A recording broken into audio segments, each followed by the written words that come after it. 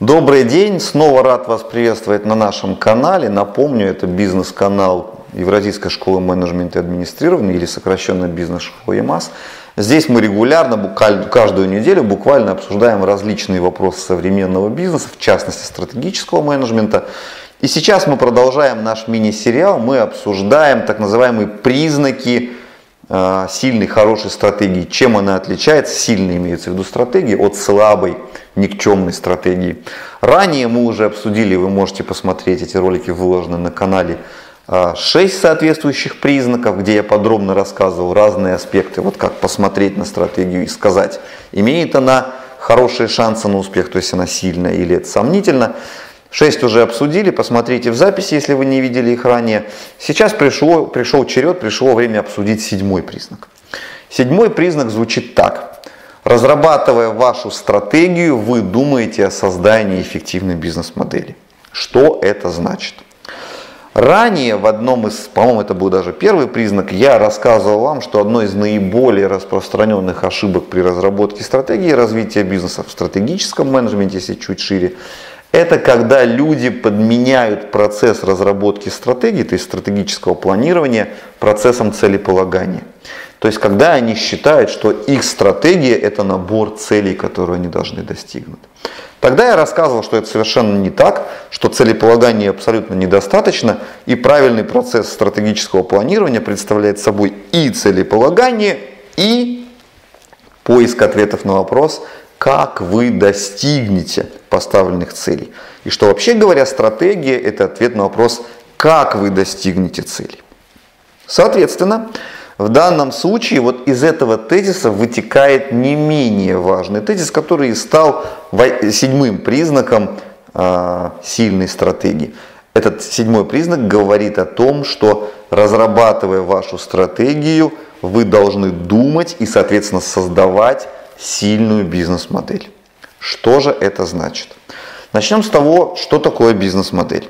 В стратегическом менеджменте имеется четкое понимание, что такое бизнес-модель. Это алгоритм, это хорошо для нас с вами, потому что стратегический менеджмент, если он грамотный, профессионален, он должен быть алгоритмичен. Это не набор каких-то фантазий, идей, полетов там, про корабли, которые бороздят, совершенно не про это.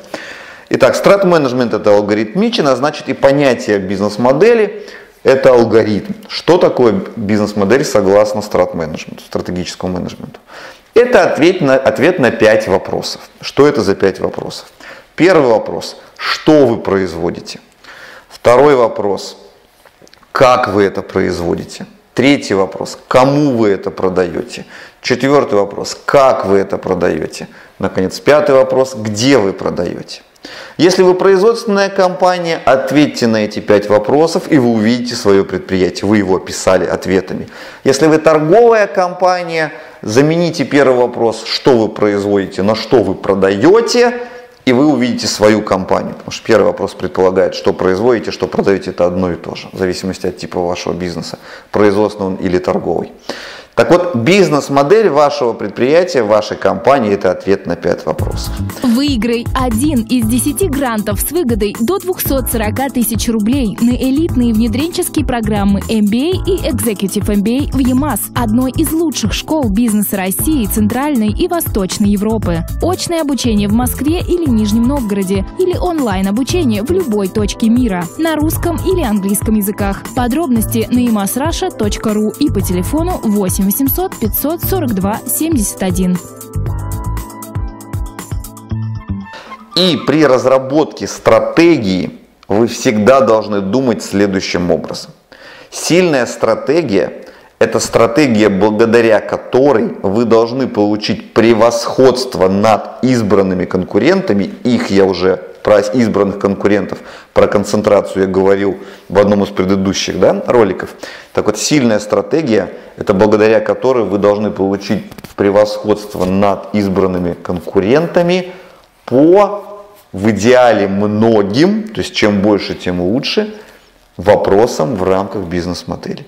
То есть вот те пять вопросов, которые описывают вашу бизнес-модель, чем по большему количеству из этих вопросов вы имеете превосходство над конкурентами благодаря реализации вашей стратегии, тем лучше.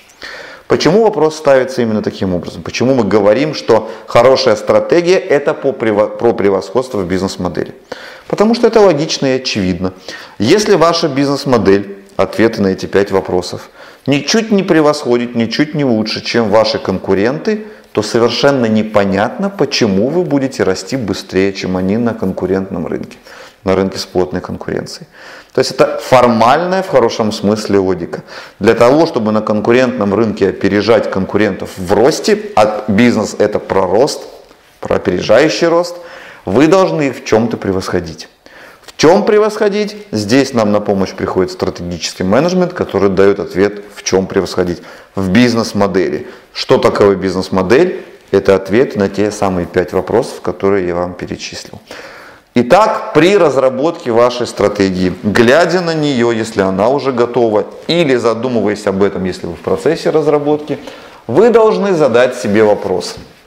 Какая у меня бизнес-модель? Ответить на следующие пять вопросов, чтобы ее описать. Что я произвожу и продаю? Как я произвожу? Кому продаю? Как продаю? Где продаю? Сделали эти пять вопросов, получили пять ответов. Точно так же задали вопросы, получили пять ответов относительно выбранных конкурентов.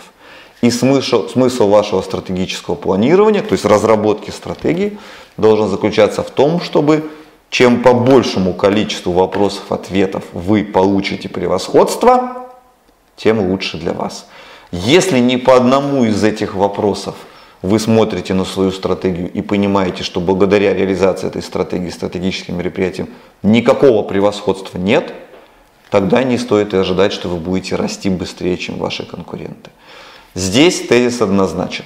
Вы должны думать в категориях превосходства в бизнес-модели, а значит, чем по большему количеству вопросов вы будете, вопросов, ответов вы будете добиваться превосходства, тем больше у вас шансов на успех. Это и должна быть ваша стратегия. Думайте о превосходстве в бизнес-модели. Чего я вам и желаю. С вами же мы встретимся в следующий раз примерно через неделю. И тогда обсудим очередной признак сильной стратегии, чем она отличается от слабой. Спасибо за просмотр. До новых встреч.